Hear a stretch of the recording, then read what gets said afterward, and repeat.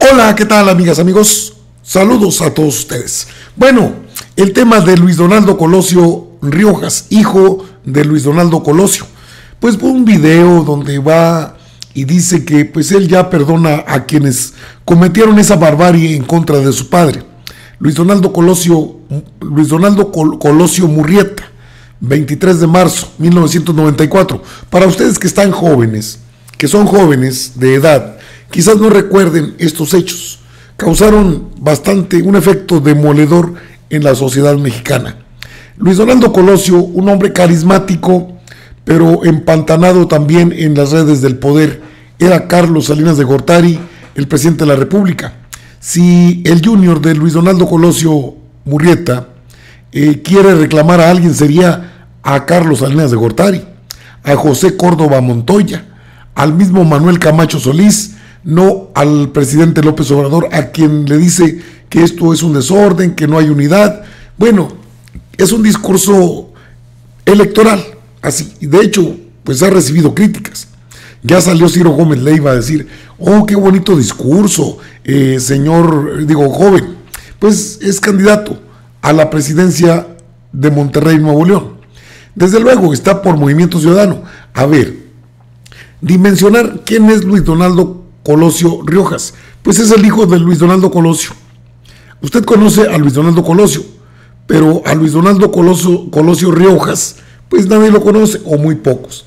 Está en Movimiento Ciudadano, es hijo político del mismo gobernador de Jalisco, Enrique Alfaro. Con eso le digo todo. Está la estrategia para eh, aprovechar todo. Y aunque él diga que no es así, que no pretende colgarse de su padre, pues puede hacerlo. Recurrir a Lomas Taurinas, allá sucedieron aquellos hechos. En 1994 presentaron a un Mario Aburto que fue considerado y hasta el día de hoy se considera quien ejecutó aquella acción tan lamentable. Pero fue el único quien ordenó eh, todo esto.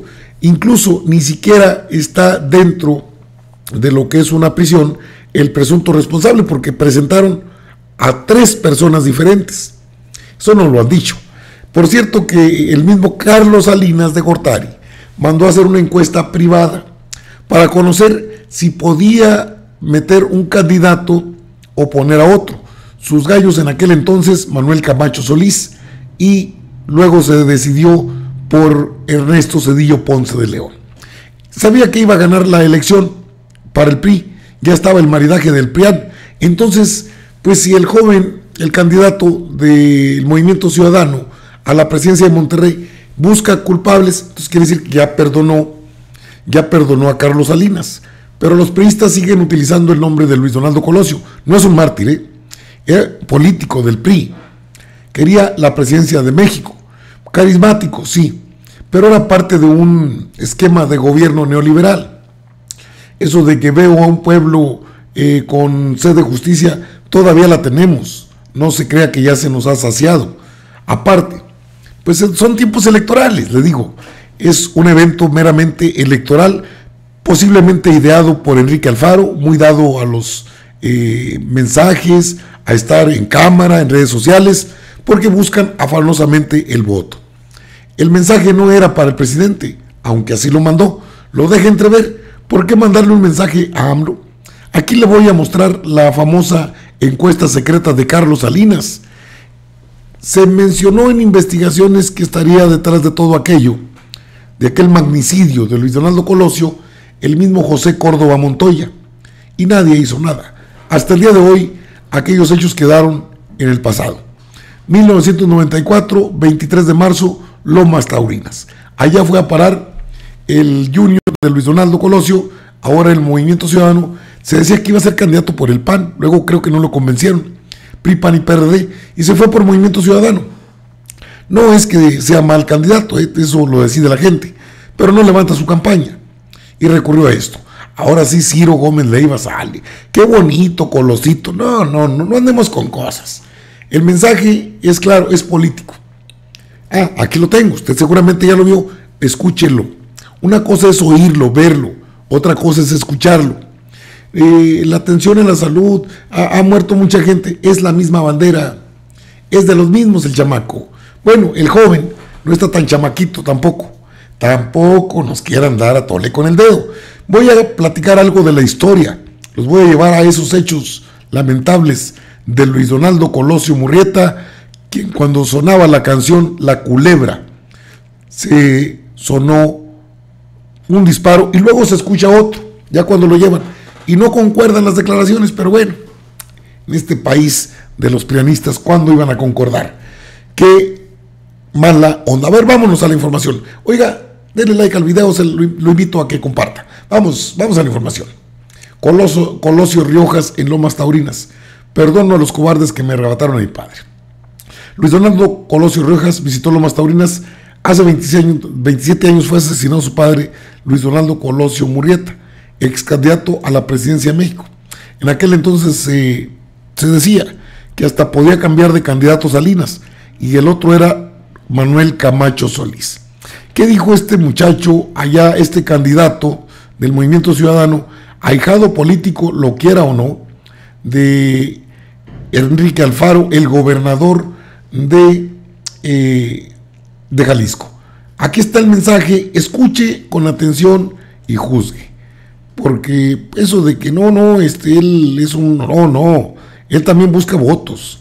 Y eso es lo que anda buscando con esto. Lo subió a través de Instagram. Escuchemos a Luis Donaldo Colosio un momento y luego hacemos el comentario.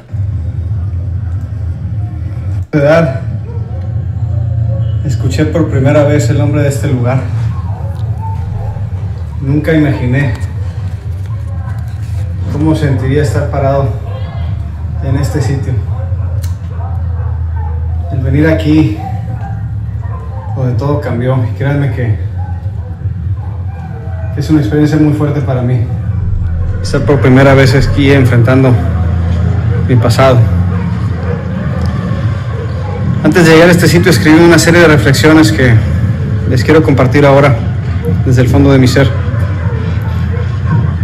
Me encuentro en Lomas Taurinas, Tijuana. Hace 20, 27 años en este lugar, este país tomó un drástico cambio de rumbo. Se desmoronaron cientos de miles de ilusiones esperanzadas en un México futuro, de trabajo, de oportunidades. Pero más allá de eso, nos dio un muy crudo ejemplo de cómo el odio y las ambiciones de la gente cobarde son capaces de asesinar la esperanza de toda una nación. Aquí cambió mi vida por completo. Aquí perdí a mi padre. Y mi madre, quien ya estaba enferma, antes de morir tomó la decisión de mudarnos a Monterrey, en donde he hecho mi vida estos últimos 27 años, donde estudié, donde trabajé, donde formé a mi familia. Pero también por eso es aquí, donde vengo a cambiar mi historia de nuevo. Este lugar, en vez de representar una tragedia hasta el fin de los tiempos, tiene que ser reivindicado y se ve como el inicio de una nueva etapa para este país. Una de las lecciones más poderosas que me dejó mi padre fue cuando me enseñó a no envenenarme el alma. Y tal como también aprendí de mi madre, mi venganza será mi perdón. Antes de iniciar esta nueva etapa vengo aquí a perdonar, pero también a invitar a toda mi gente a perdonar conmigo. Perdono a los cobardes que me arrebataron a mi padre, haciendo hasta lo inimaginable con tal de sacar a Colosio de la contienda. Perdona al asesino que tomó su vida, producto de circunstancias inciertas, desesperadas y posiblemente obligadas por las que atravesaba en aquel momento. Perdona a las instituciones políticas de este país que, lejos de honrar su legado, han usurpado el nombre de mi padre y se han beneficiado de él para sus proyectos políticos vacíos. Perdona un sistema judicial que, lejos de ayudar a procurar la verdad, se empeñó en destruir toda posibilidad de hacer justicia a un crimen nacional. Perdono porque es lo correcto y porque no existe una transición hacia la paz sin un auténtico ejercicio de reconciliación y porque está solo en mi persona la obligación de tomar este paso hacia adelante. Pero hay cosas que no perdono ni perdonaré jamás. Lo que a mi familia y a mí nos sucedió aunque de manera muy pública, no es tan distinto a lo que le ocurre a miles de familias mexicanas todos los días y que viven ese sufrimiento en el olvido. No perdono que en México continuemos permitiendo que tantas familias padezcan lo mismo que ha sufrido la mía por las ineficiencias e imprudencias de nuestro sistema de gobierno. No perdono que miles de familias sufran diariamente la pérdida de un padre, de una madre, de un hijo, de una hija, de un cónyuge, a cualquier ser querido, víctimas de la violencia que azota nuestra tierra, o de un sistema de salud que tras décadas de descuido hoy le pasa la factura a miles de vidas que se perdieron en la esperanza de una atención digna. No, perdono, no perdono y me ofende que tengamos en nuestra niñez el futuro y principal propósito que siempre debe tener México en el abandono educativo y que ese rezago se traduzca en las enormes desigualdades sociales que vivimos todos los días, tal y como lo dijo mi papá. El mundo no nos ha sido heredado por nuestros padres, nos ha sido prestado por nuestros hijos. No perdono que nuestra clase política, lejos de evolucionar, siga fomentando las viejas prácticas que secuestran el poder para servir a sus propios grupos e intereses perversos. No perdono que en momentos de crisis y de devastación nacional no se escuchen llamados a la unidad y solidaridad de parte de nuestros liderazgos. Todas y todos los que vivimos en este país tenemos la corresponsabilidad ciudadana de salir adelante y por ello nos vemos obligados a reconciliar a la nación con la nación Aquí he dejado una ofrenda representativa de sacrificio que hace tanto tiempo tiñó a este suelo con lo más preciado que tenía y que hoy en la, en la mirada de mis hijos reconozco como necesaria para que con mi propia vida de frente encaremos a un sistema, a una clase política, a una sociedad dividida y manifestar que mi pasado, nuestro pasado, se debe de quedar en donde está. Aquí y ahora comienza una nueva y urgente historia para mí y la pongo a los pies de mi país. Bueno, ya esa es grilla, es grilla. Le decía que esta encuesta la mandó a hacer Salinas en aquellos años. La encuesta ordenada por Salinas. Alguien mandó a asesinar a Colosio. Recuerdo perfectamente a Carlos Salinas de Gortari haciendo una una guardia de honor sin pena alguna en el mismo velorio de Luis Donaldo Colosio. Esto ha sido aprovechado políticamente. Si Mario Aburto no, no actuó solo, entonces, ¿por órdenes de quién actuó? Y en ese punto los mexicanos dividían sus opiniones. Era el 94. Salinas iba de salida. Dejó una brutal deuda económica que luego, pues, resultó en lo que conocemos como el Fogaproa. Salinas conocía todo esto. Sabía él que a pesar de haberse aventado a Colosio aquel régimen de gobierno, podían ganar la elección. Y es que aquí están dos actores principales, hay varios. Está Salinas, está, bueno, está también Manuel Camacho Solís y está Colosio. No aparece en cuadro eh, José Córdoba Montoya. No aparece a cuadro Liébano Sanz. Para penetrar en el entonces sistema presidencialista nuestro, el escudo diamante que trae o traían los candidatos en aquel entonces del PRI y del PAN, bueno, del PRIAN, era necesario que actuara gente de adentro. No podía penetrarlo un extraño, menos alguien solitario que se le ocurrió ser el hombre águila o el caballero águila. Esas son patrañas que nos vendieron y que nos dieron. Lo de siempre, atole con el dedo. ¿Por qué? Porque Salinas sí supo de esto y supo todo. ¿Alguien lo llamó a cuentas? Nadie. Un personaje gris oscuro, José Córdoba Montoya, jefe de la oficina de la presidencia, con mucho poder. Aquella, eh, aquel libro de don Julio Scherer eh, García, fundador de la revista Proceso, La Terca Memoria, en una plática con Luis Donaldo Colosio que escribió en ese libro, señala, que Colosio estaba entusiasmado por aquel discurso en el, en el monumento a la revolución, que habría pues, dejado frases memorables. Aquí tiene algunas de ellas. Eh, veo un México, aquí está, aquí está. Veo un México en el que los campesinos aún no reciben las respuestas que merecen. He visto un campo empobrecido y endeudado. Era la parte de aquel discurso, escrito en color sepia el color favorito de Luis Donaldo Colosio. Ese discurso le habría costado lo que pasó el 23 de marzo en la colonia Lomas Taurinas de Tijuana.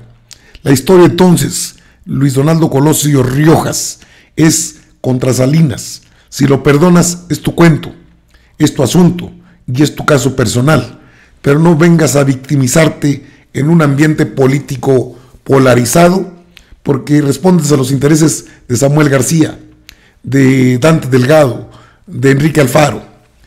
Un sistema político del que ahora pretende sacar raja. Está en su derecho, es su papá. Mira, pues está bien, sí está bien, pero está explotando la parte sentimental del pueblo mexicano.